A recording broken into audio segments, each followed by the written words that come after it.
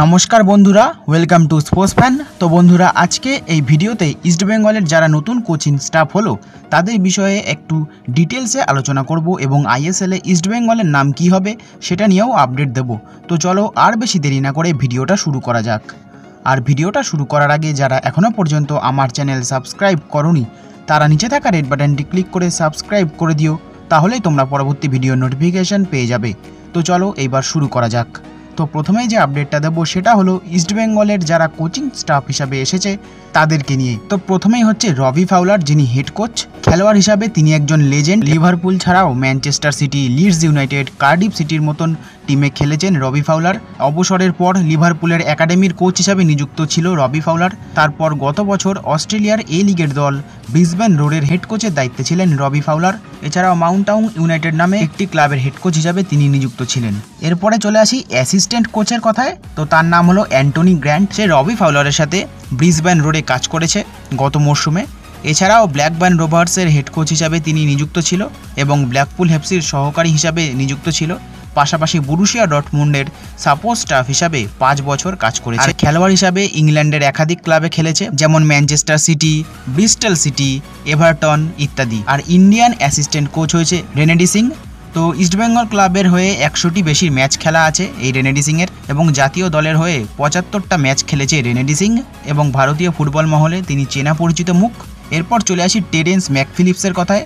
যে set piece coach হিসাবে এসেছে ইস্টবেঙ্গলে ভারতীয় ফুটবলের ইতিহাসে এই প্রথম কোনো সেট পিস কোচ দায়িত্ব নিতে চলেছে। ম্যাক ফিলিপস এর আগে ইংল্যান্ডের তৃতীয় ডিভিশন ক্লাব ব্ল্যাকপুলের হেড কোচ ও সহকারী কোচের দায়িত্ব পালন করেছে। এছাড়াও ব্ল্যাকব্যান রোভার্সের সহকারী কোচ হিসাবেও তিনি নিযুক্ত ছিলেন। এরপরে চলে আসি গোলকিপিং কোচের কথায়। তো গোলকিপিং কোচ হিসাবে এসেছেন রবার্ট মিমস যাকে তোমরা ববি মিমস নামে চেনো। তো রবি ফাউলারের পরিচিত এই গোলকিপার কোচ বর্তমানে বাংলাদেশের জাতীয় দলের দায়িত্বে আছে। এর আগে এটিকে এবং জামশেদপুর এফসির গোলকিপিং কোচ হিসাবে তিনি নিযুক্ত ছিলেন, যেটা তোমাদের আগেই জানিয়েছিলাম আমি। আর খেলোয়াড় হিসাবে টটেনহাম, তারপরে ম্যান সিটি, এভারটন ইত্যাদি সব টিমে খেলেছে।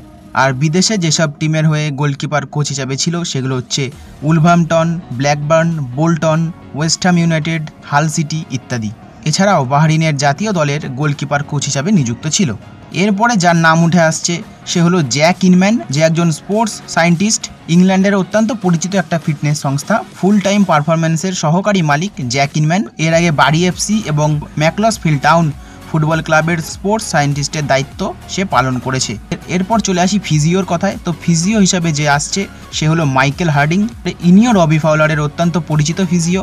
ফিজিও হিসাবে তার অভিজ্ঞতা প্রচুর। টানা চোদ্দ বছর ইংলিশ প্রিমিয়ার লিগের দল নিউ ক্যাসেল ইউনাইটেডের হেড ফিজিও হিসাবে দায়িত্ব পালন করেছে এই মাইকেল হার্ডিং।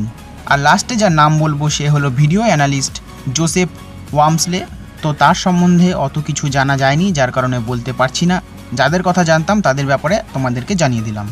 তো এই গেল পুরো কোচিং স্টাফদের ছোট করে আলোচনা। কালকে জাস্ট নামগুলো বলেছিলাম বলে তোমাদেরকে আজকে একটু আলোচনার মাধ্যমে তাদের সম্পর্কে জানিয়ে দিলাম।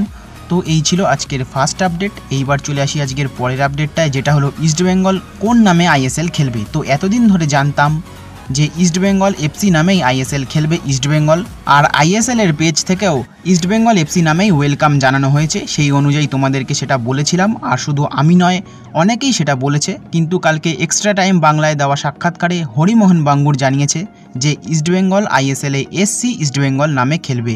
এবং তাকে যখন জিজ্ঞাসা করা হয় যে এসসি ইস্টবেঙ্গলের ফুল নাম কি? তখন তিনি বলেন এসসি ইস্টবেঙ্গলের ফুল নাম হলো স্পোর্টস ক্লাব ইস্টবেঙ্গল আর এক্সট্রা টাইম বাংলা তোমরা সবাই দেখো। তো সেইখানে গিয়ে তোমরা সেটাও দেখতে পারো। আর এতক্ষণে হয়তো অনেকেই সেটা দেখে নিয়েছো। তো ইস্টবেঙ্গল আইএসএলে কী নামে খেলবে যারা এতদিন ধরে জিজ্ঞাসা করছিলে? তো তাদেরকে বলছি, স্পোর্টস ক্লাব ইস্টবেঙ্গল মানে এসসি ইস্টবেঙ্গল নামে আইএসএল খেলবে ইস্টবেঙ্গল এবং এটা শ্রী সিমেন্টের ম্যানেজিং ডিরেক্টর হরিমোহন বাঙ্গুর বলেছে। তো এই ছিল আজকের যাবতীয় আপডেট। সো ভিডিওটা ভালো লাগলে অবশ্যই লাইক শেয়ার করে দিও। আর যারা আমার চ্যানেলে নতুন এসেছ, তারা অবশ্যই নিচে থাকা রেড বাটনটি ক্লিক করে সাবস্ক্রাইব করে দিও এবং তার পাশে থাকা বেল আইকনটি ক্লিক করে দিও রেগুলার নোটিফিকেশান পাওয়ার জন্য। আর এই ভিডিওটা দেখার জন্য তোমাদের সকলকে জানাই অসংখ্য ধন্যবাদ।